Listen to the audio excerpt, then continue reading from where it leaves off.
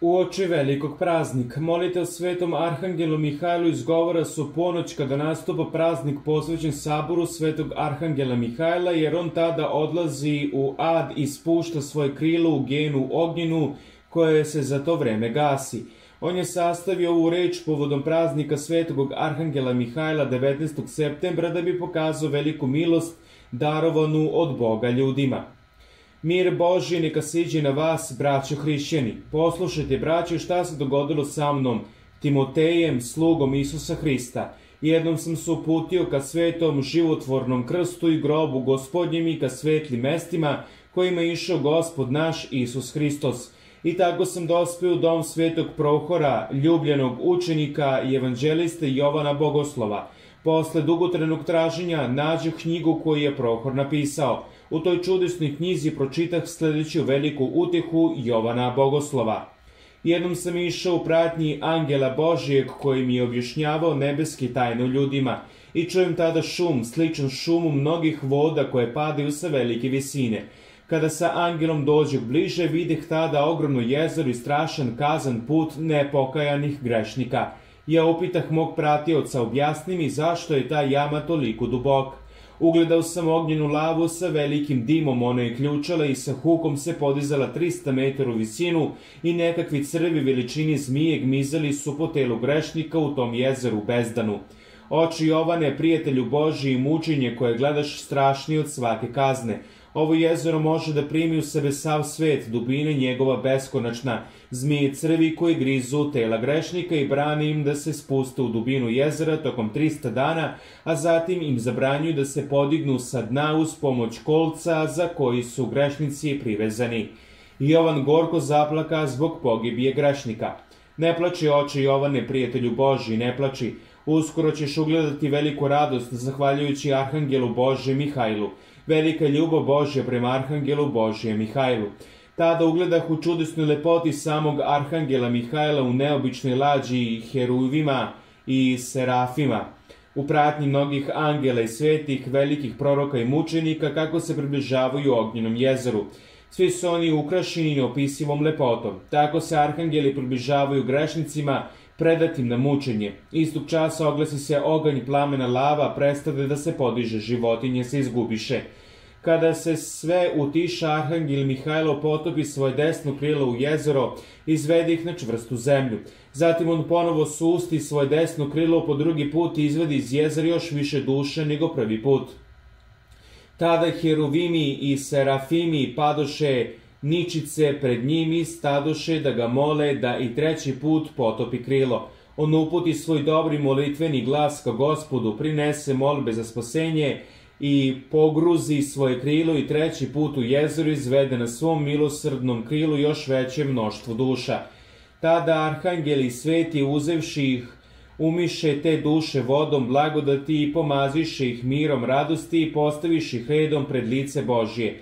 Tog časa iza zavese gospodnji izđe glas koji reče Zastupništvo Arhangela Mihajla i majke moje presvete djeve i svih mojih angela izabranih koji su na zemlji ispunili volju Oca moga, uvede dušu u raj blaženstva, večnosti i pokoja. Pri ovom dirljivom susretu sveti Jovan se udivi sa stradavanju Arhangela Mihajla. Anđeo mu reče, Znaj Jovane, prijatelju Boži, da se čudo koje ponavlja svake godine 6. septembra na dan praznovanju čast Arhangela Mihajra, jer ga je sve vidići Bog odredio za vođu nebeske vojske zbog velike pobede koju on izvojevao nad silama satane.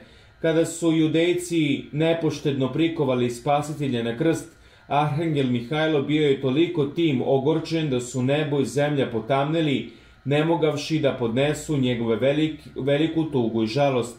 Kada je spasitelj ustao iz groba, on je odvalio kamen, doneo blagu vest ženama, mironosnicama i zadržao satanu, oduzeo mu ono što je imao. Bog je darovao svetom arhangelu Mihajlu veliku silu i vlast da čak spasava one koji prebivaju u mukama.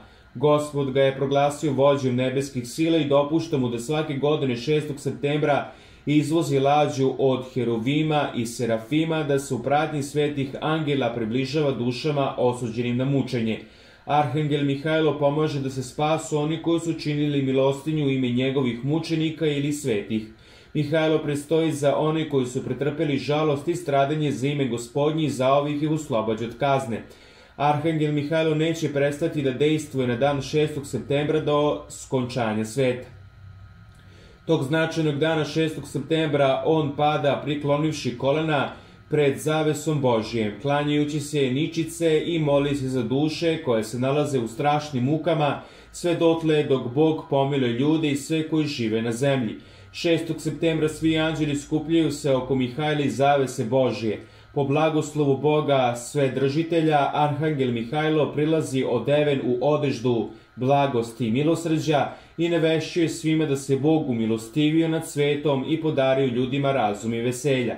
Ti si video, Jovane, kako će biti srećen onaj čovjek koji je učinio delo milosrđa u ime Arhangela Mihajla, isto kao i onaj koji se potrudio da prepiše ovu knjigu, gde se nalazi taj opis i ako bude čitao reči ove povesti ili prenesene dar crkvi, ovo sveto kazivanje ili ko postavi sveć ili upali svetlik, kandilo ili tamjen, učini i takav častan ponos u ime Arhangela Mihajla, on toga neće zaboraviti, nagradit će blago čestitost.